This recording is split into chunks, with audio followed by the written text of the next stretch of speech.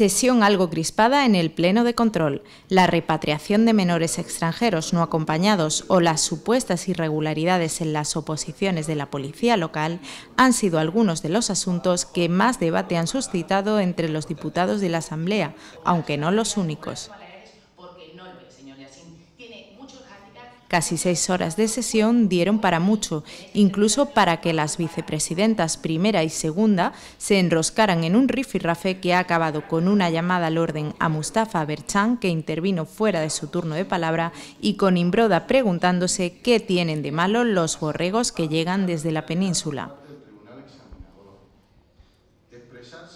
El bloqueo de los fondos FEDER o la tarifa plana en vuelos han sido otros de los temas que se han tratado y que tampoco han dejado indiferentes a los asistentes. Los planes de empleo, el retraso en el pago de las becas de la ESO o la petición para crear un plan de barrios han completado la sesión.